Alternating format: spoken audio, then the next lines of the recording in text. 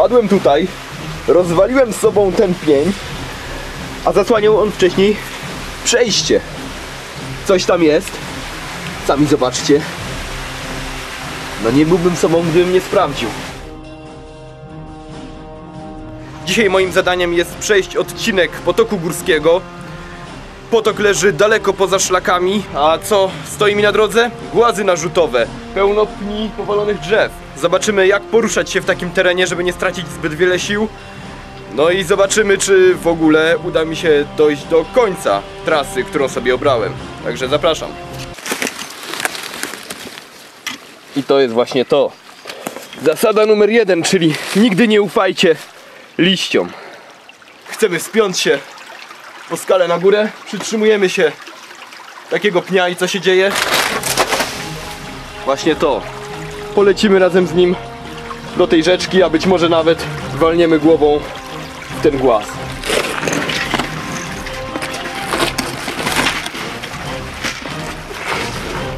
Dobrze jest ściągnąć plecak, jeżeli sklepienie jest naprawdę nisko, ale czasami kosztuje to zbyt dużo energii, żeby ciągle go ściągać, zakładać. Dlatego jeżeli jest taka możliwość, lepiej przeczołgać się z plecakiem. Chociaż trzeba też uważać, bo jeżeli natrafimy na nagły zacisk, może nie być możliwości ściągnięcia plecaka, możemy się zaklinować, także bezpiecznie jest jednak zawsze ściągnąć plecak. Wyrzucamy plecak. Jest to pewne ryzyko, no bo jeżeli nie uda mi się wspiąć na skałę, to już po moim ekwipunku jest po prostu płaska. Jeżeli będę chciał się na nią tak wspiąć, no nie ma szans, no. Mogę sobie próbować. Będę na pewno zjeżdżał. A nawet jeżeli mi się uda, to stracę bardzo dużo sił. Co w takiej sytuacji? Należy patrzeć na skałę w wielu płaszczyznach. Mamy tutaj ten głaz, ale mamy też skałę z tej strony.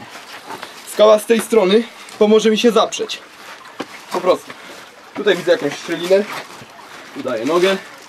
I opieram się plecami o skałę za mną. Dzięki czemu wytwarzam dodatkowe tarcie. Dodatkowe tarcie wytwarzam chociażby przed ramieniem. Tutaj łapię. Tutaj. Jak największe tarcie o skałę. Tu się zapieram. I jedziemy dalej.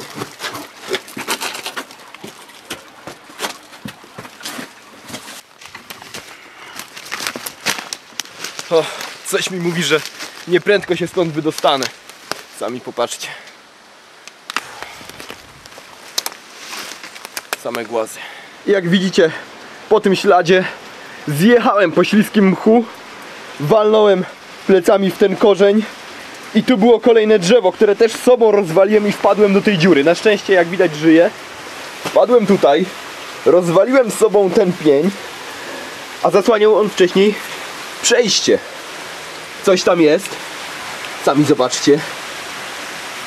No nie byłbym sobą, gdybym nie sprawdził.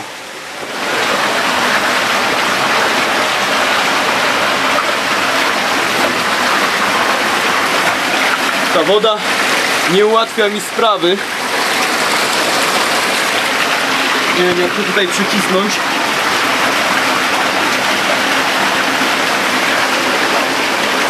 Będę musiał próbować po kamiorach. Trafiłem do całkiem pokaźnego kompleksu jaskiń. Właściwie nie są to jaskinie. Nie powstały na skutek drążenia skał przez tą wodę. To wszystko to głazy narzutowe, które przykryły koryto rzeki i tak powstały te jaskinie. Całkiem rozległe i to jest właśnie dziwne, bo na prawo ciągną się dalej. Sprawdźmy.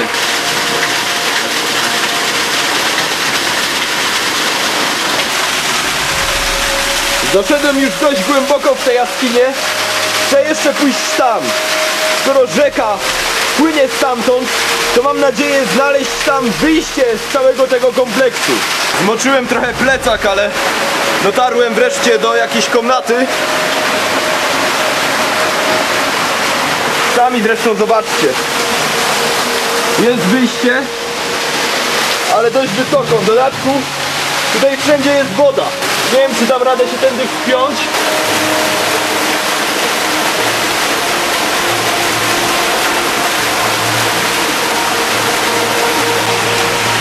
Wyjście, które przed chwilą wam pokazałem. Natomiast jest jeszcze jedna odnoga. I tutaj też Dałbym radę wyjść. Tu się muszę czołgać, tam się muszę wspinać. Nie wiem, co jest lepszym rozwiązaniem w tej sytuacji. Myślę, że spróbuję się tędy przecisnąć. Nie ma tutaj zbyt wiele miejsca. Plecak mi się topi.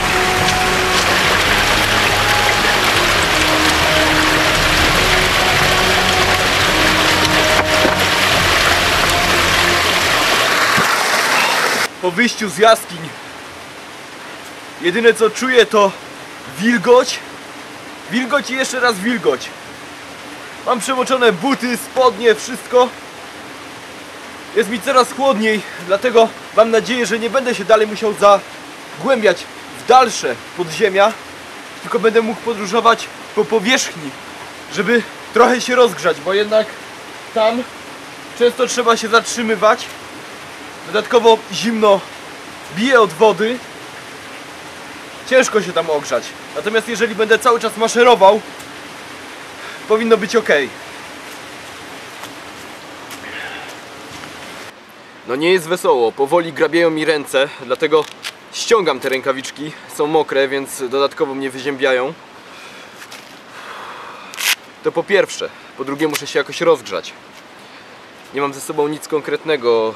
Nie brałem nic, co pomogłoby mi rozpalić ogień. Ponieważ nie miałem zamiaru rozpalać tutaj ogniska, tym bardziej, że jest mokro, tutaj za bardzo nic na opał nie znajdę. To wszystko jest przemoczone, no po prostu jak gąbka. Natomiast myślę, że uda mi się wykombinować coś na szybko. Mam chusteczki, którymi przemywam obiektywy w kamerach. Te chusteczki są nasączone alkoholem. Jak wiadomo, alkohol jest łatwopalny. Być może z pomocą również menażki uda mi się na szybko sporządzić jakiś taki piecyk, kuchenkę i trochę się ogrzać. Myślę, że powinno się to chwilę palić, ponieważ alkohol zrobi tutaj swoje.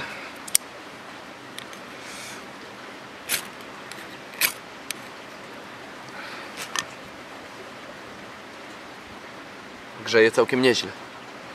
Pewnie nie widać za bardzo płomienia, bo to taki typowy przy spalaniu alkoholu niezbyt widoczny.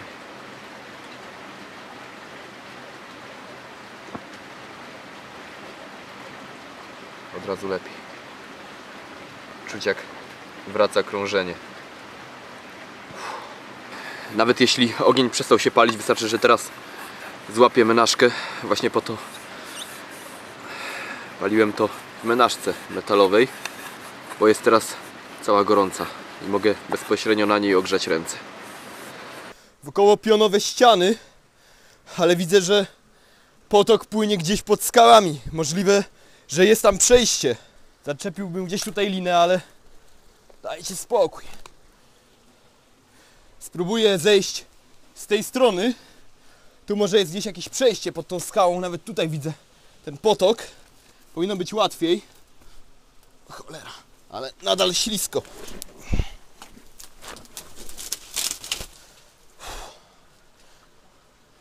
Potok za mną.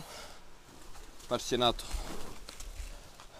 Te głazy wcale nie są tak stabilne, jakby się to mogło wydawać. Dlatego to nie jest pewno dobry pomysł.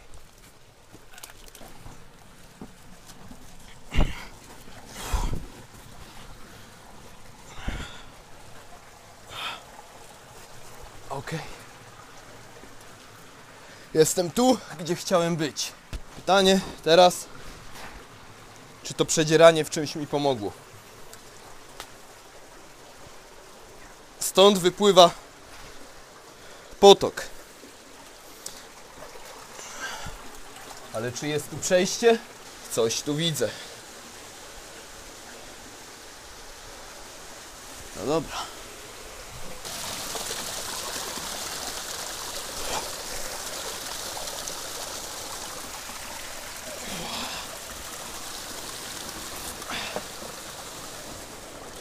Ło, jestem. Strumień niknął głęboko pod skałami. Nie wiem, czy płynął gdzieś dalej, czy to po prostu było już źródło. W każdym razie dotarłem do miejsca, z którego dalej nie można już było iść. są linie wysokiego napięcia, a to oznacza, że jeżeli będę za nimi podążał w dół terenu, to na pewno trafię do cywilizacji. Cywilizacja. Także dzięki za uwagę i czołgi.